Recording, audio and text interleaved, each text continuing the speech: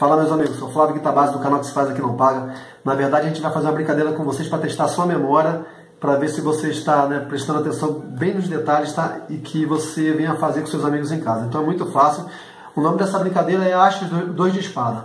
Então uma brincadeira muito fácil com três cartas aqui, tá bom? Mesma cor atrás, e você vai fazer o seguinte, você vai colocar aqui, é o primeiro estágio.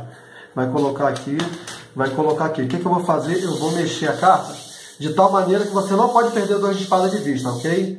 Então, eu acredito que vocês vão achar, porque essa primeira fase é muito fácil.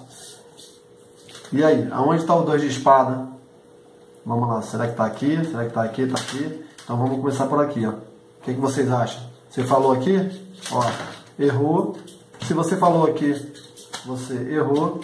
Se você falou aqui, você acertou, ok? Primeiro estágio, acredito que você tenha acertado, né? Então vamos para o segundo estágio, que vou botar um pouquinho de dificuldade. Começa a rodar aqui. Vou tentar tirar a atenção de vocês. Vamos lá.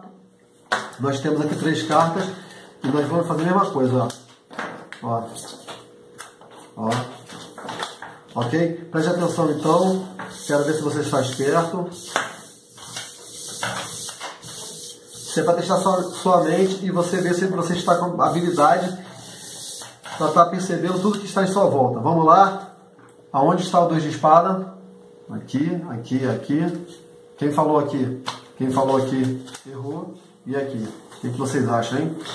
Se você falou aqui, você acertou. Aqui, você errou.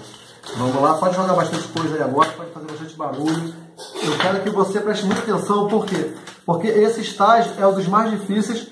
Se você conseguir acertar, você vai arrebentar, tá bom? Então vamos lá, está aqui as três cartas, você tem que achar dois de espada, ok? Então aqui, ó, vamos colocar essa aqui, aqui a gente vai, né, ó, vamos lá, coloquei aqui e aqui.